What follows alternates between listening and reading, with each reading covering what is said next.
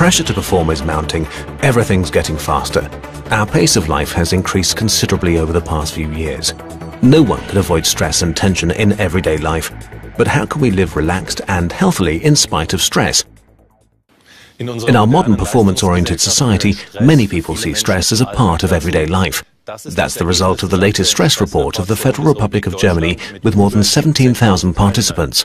The World Health Organization too confirms in its studies that stress is a frequent and increasing health problem around the globe. Who's affected by stress?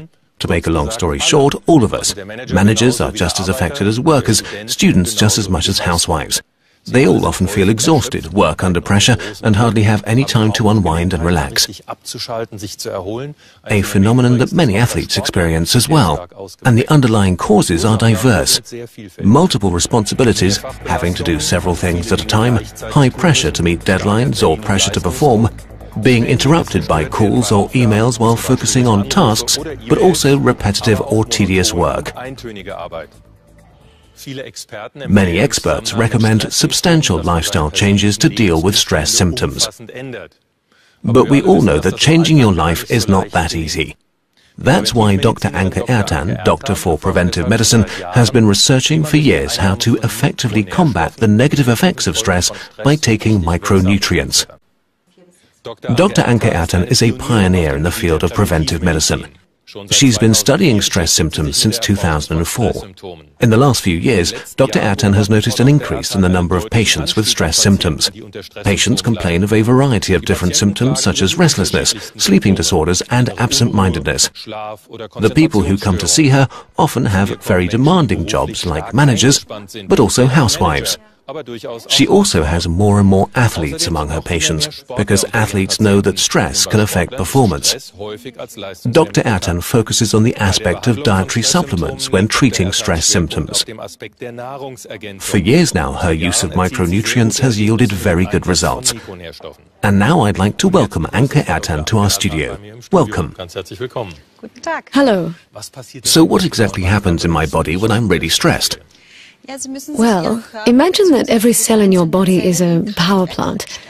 The power plant produces energy, and during the production of energy, toxic substances develop. And these toxic substances are called free radicals. Mm, sounds dangerous. Yes, and it is dangerous. Under normal circumstances, these free radicals can be neutralized without any problems. But if the engine is running hot, running continuously, then over time there are too many free radicals for your body to cope with on its own. And then we start to feel stressed and our performance is impaired. Now that's very important. You just said running continuously, so that means we're talking about stress over a longer period of time. We're not talking about a few hours or days, but many weeks and many months. Well, let's take a look at what's really happening in our body. Sure. Let's take a closer look at a simplified model of a cell with, as you can see here, the cell walls, the nucleus, and the mitochondrion. The power plant. Exactly.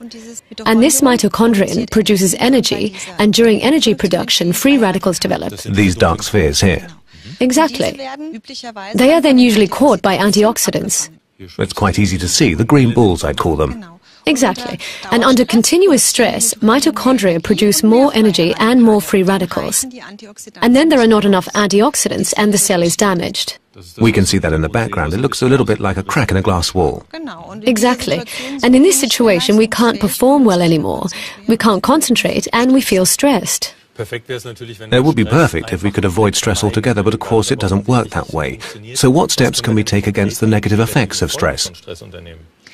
We can provide sufficient micronutrients to our body. This includes, for example, vitamin E, selenium, and there are also very highly effective plant-based substances such as chlorophyll, green tea, and especially resveratrol. Basically, resveratrol is one of the strongest antioxidants there is. It can absorb a high number of free radicals per time unit. That's why it can reduce stress effectively. So what you're saying is basically if I eat a lot of resveratrol every day, I'll feel fantastic overnight and I'll be completely stress-free. Is it really that simple? Yes and no. It is certainly beneficial to absorb the free radicals, but we also need additional micronutrients to ensure our energy supply and the vitamin B group, choline, L-carnitine, iron, and most importantly, coenzyme Q10 are worth mentioning here. Mm, a long list of names. We'll explain them a little more in depth and take a closer look at them with our viewers. Okay, we can see Q10 entering the cell here. It is a very important energy supplement because it directly supports the mitochondria, our power plants. There are also very important nutrients like iron, which is central in the transport of oxygen. And then, on the mental health side, to improve memory retention and mental strength, we need B vitamins and choline, which are also important for the delivery of sufficient glucose to the nerve cells cells. And if we manage to take in the perfect mix of these micronutrients regularly, we will feel the difference not only physically, but also mentally. We will be in better shape, and we will be able to concentrate better and not feel stressed any longer. So it's all in the mix, it's the right mix of these micronutrients. Correct. When will I start feeling the effect of all that? Well, most people feel it shortly after. They instantly have energy for their body and mind and they feel more productive. They can concentrate better and want it never to go away again. But there is a small group of patients who do not notice anything themselves. The thing is, we can actually measure those things in serum, in blood, and we find that stress markers decrease and that the level of micronutrients increases. And that's very interesting for us as doctors, because that means that it can protect cells. You use the term stress marker. Can you explain what that means? Stress markers are byproducts of metabolism that develop when we feel stressed, and the higher the level of stress markers, the more stress our body experiences. Oh, okay. I have some of my patients' test results with me, and I will use them to demonstrate that to you. Great, go ahead. So, here you can see three of the stress markers that we measured. That's creatinine, lipid peroxides, and 8-epi prostaglandin. And what you can see here quite nicely is that by taking these combined micronutrients over time, the level of all of them decreases progressively. That's a lot. We have minus 6, minus 47%. And that's the most important thing, because that's how we prove that the body feels less stress. To sum up, not only do I feel well, I can also prove it with medical evidence. Yes, exactly right. And there is another effect. We can take a look at that too.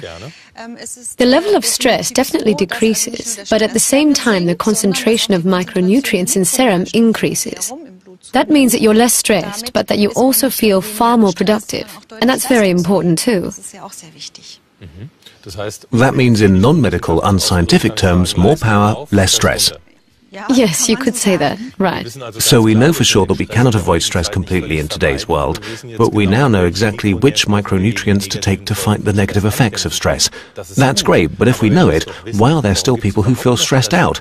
Can't we just say, come on, give me the pill? Yes, it would be great if it was that easy, but of course you need to be careful which micronutrients you take, what dosage and for whom. And another important factor is that many people simply do not know that they can use micronutrients to do something about the consequences of stress. Well, that's why it's great that you came here today to talk about your work and about the effects of micronutrients. Thank you very much, Dr. Ertan. You're welcome. Ladies and gentlemen, we've now learned what to take to make us feel better and less stressed from stress. So take care and see you soon.